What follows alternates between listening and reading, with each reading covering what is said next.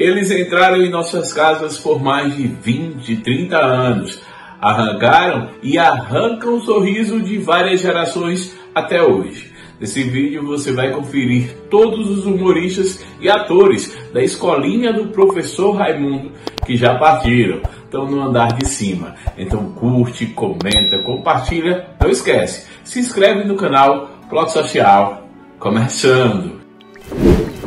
Oi gente, vamos começar esse vídeo cheio de saudade por Paulette. Ela foi a milha na escolinha do professor Raimundo e trabalhou com Jô Soares e Chico Anísio. Faleceu aos 40 anos vítima da AIDS, primeira pessoa a falecer em 1991. Odney Casarré era o João Bacurinho, fez vários personagens, também trabalhou com o Viva Gordo. Faleceu aos 41 anos em 1991, vítima de uma trombose. Já o nosso grande, grande Otelo era o seu Eustáquio. Ele faleceu aos 78 anos de idade, vítima de um infarte em Paris em 1993, um dos maiores atores da nossa história. Geraldo Alves era o Bill Bebes, naquela época em que Gil Gomes era um sucesso no Aqui Agora. Faleceu aos 57 anos em 1993, vítima de problemas cardíacos. Já o nosso querido Ivon Cury era o seu Gaudêncio. O ator faleceu aos 67 anos de idade em 1995, vítima de problemas respiratórios. Também atuou muito tempo no circo. Costinha estava acostumado a aparecer na TV, em filmes, lotar teatros pelo Brasil, era o seu Mazarico. Faleceu aos 75 anos de idade em 95 com problemas pulmonares. Até hoje, suas piadas estão por aí. Walter Dávila era o Baltazar da Rocha e vários outros personagens na escolinha. Foi um dos primeiros humoristas da TV brasileira. Faleceu aos 84 anos em 95, vítima do câncer. Já o Brandão Filho era o Sandoval Quaresma, um dos personagens mais emblemáticos da escolinha. Faleceu aos 88 anos de idade em 1998, também vítima do câncer. Se teve um ator que marcou a escolinha foi Rony Cócegas, que também atuou no A Praça é Nossa. Ele era o Galeão Cumbica e faleceu aos 59 anos de idade em 1999, vítima de uma cirrose. Que pena. Chegamos então a ela, Zezé Macedo, a Dona Bela. Que personagem inesquecível. Ela faleceu aos 83 anos de idade, também em 99, vítima de um aneurisma. Já o diretor da escolinha era o Milton Carneiro, o seu Atanágio. Ele faleceu aos 76 anos de idade em 1999, vítima de problemas cardíacos. Alguém tinha que organizar toda aquela bagunça. Já o Colé Santana, irmão do Dedé Santana, participou algumas vezes da escolinha como Valdemar Mota. Ele faleceu aos 80 anos de idade no ano 2000, vítima de problemas naturais. Chegamos então a ninguém menos que Nádia Maria, que era a Célia Cardoso de Belo e vários outros personagens na escolinha. Ela faleceu aos 69 anos de idade, também na virada do século, no ano 2000, vítima de um câncer. Já o nosso Rogério Cardoso, o Rolando Lero da escolinha, era o vovô de nada menos que a grande família. Ele faleceu no amanhã, aos 67 anos de idade, em 2003, vítima de um infarte. Já o pai da Glória Pires, o Antônio Carlos Pires, era o Juscelino Barbacena, grande ator de mais de 50 anos dedicados à TV brasileira. Ele faleceu aos 78 anos de idade em 2005. O grande Luiz Delfino era o diretor, o segundo diretor da escolinha. Ele também atuou em humorísticos da TV Globo e até na direção de novelas. Faleceu aos 83 anos em 2006. Já o nosso querido Davin Cunha era o Manguaça e também super conhecido até hoje como Espanta. Ele faleceu aos 49 anos em 2006, vítima de um acidente de carro. Um dos melhores humoristas do seu tempo. O Jorge Savala, o pai da Elizabeth Savala, era o Carequinha, um palhaço super conhecido nos anos 70, 80, 90. Tinha 90 anos de idade quando faleceu em 2006. O nosso querido Carvalhinho era um dos primeiros atores da TV brasileira, atuou em novelas como Alma Gêmea, Chocolate com Pimenta, era o Maurício das Dores na escolinha, faleceu aos 79 anos em 2007 com problemas cardíacos.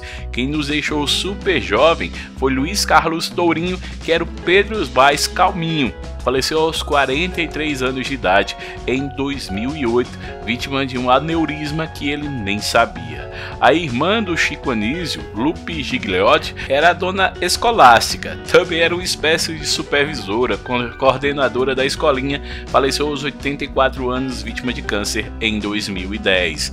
Mauro Tupinambá era o Bertoldo Brecha, um personagem também muito querido, faleceu aos 78 anos de idade em 2010 2010, vítima do diabetes.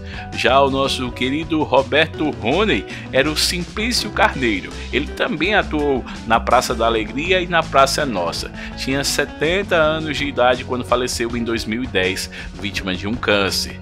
Marcos Plonka era o Samuel Blaustein, era aquele judeu árabe que muita gente não entendia direito. Ele faleceu aos 71 anos de idade em 2011, vítima de infarto. Também atuou na Record e no SBT. Já o nosso querido José Vasconcelos era o Rui Barbosa Sai Silva e outros personagens desde os anos 50 na TV faleceu aos 85 anos de idade em 2011.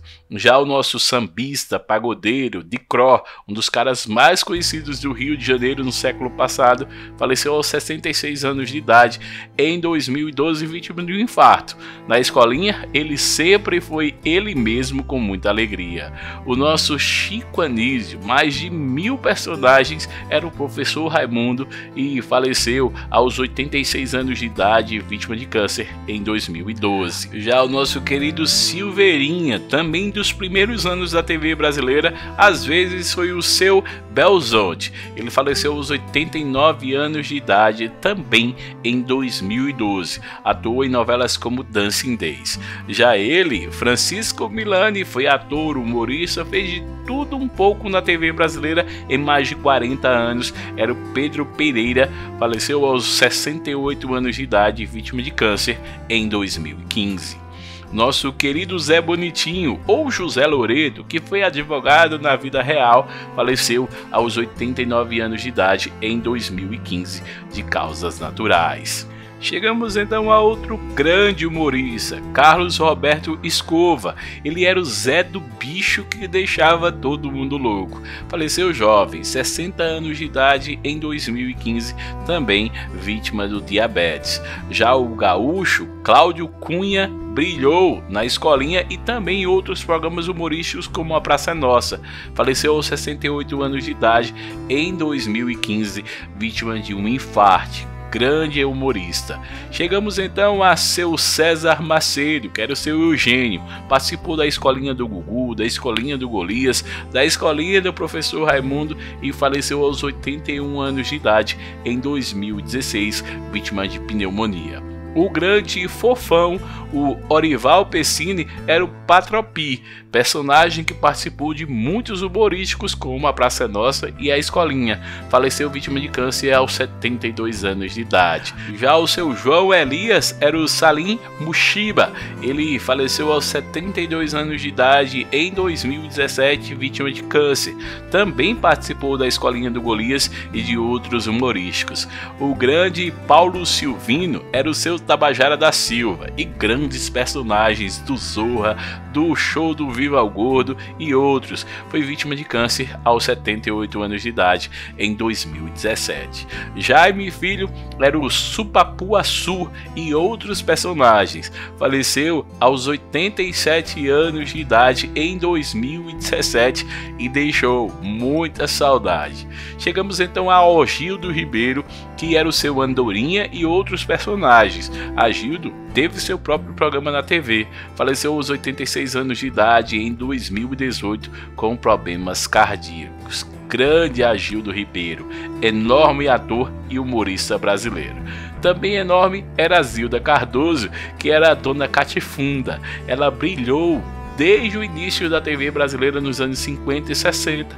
Tinha 85 anos quando nos deixou em 2019, vítima de causas naturais. Chegamos então a Lúcio Mauro, que era ator, participou de muitas novelas e vários humorísticos, era o seu Aldemar Vigário. Faleceu aos 92 anos de idade em 2019, vítima de problemas respiratórios. E como esquecê-lo no rádio, na TV e um grande jornalista, um grande homem da TV brasileira nessa lista grandes atrizes e atores. Atrizes, nossa querida Marina Miranda, ela que atuou em Mandala e fez muito sucesso. Era dona Mandala na escolinha. 90 anos de idade, 2021, foi vítima de Alzheimer. Ela deixou saudade. Chegamos então a Orlando Drummond, um dos maiores dubladores, atores, humoristas, o homem que realmente deixou saudade. O seu Peru, 101 anos de idade em 2000 2021 de causas naturais. Já a nossa querida Marilu Bueno era a dona Protésia. Ela faleceu aos 82 anos de idade em 2022, vítima de uma cirurgia. Quem lembra dela em Sassaricando, Caça-Talentos e outros trabalhos na TV. Cláudia Jimenez dispensa qualquer apresentação. Fez vários personagens. Muita gente confundia ela com a Xuxa ou a mãe da Xuxa. 63 anos de idade em 2022. 2021 problemas cardíacos. Nádia Carvalho era atriz e dubladora. Santinha Pureza faleceu aos 67 anos de idade em 2022, vítima de um AVC grande atriz. Antônio Pedro era ator, humorista, diretor, produtor, deixou saudade na TV. 82 anos de idade, 2023, vítima de problemas renais. Já o Irã Lima era o seu cantinho também atuou na Escolinha do Gugu e na Praça é Nossa. Ele faleceu aos 88 anos de idade em 2024, vítima infelizmente de problemas cardíacos todos eles vão deixar e deixaram muita saudade. Aproveita, deixa sua mensagem, curte, comenta, compartilha, blog social. Um beijão. Tchau, tchau.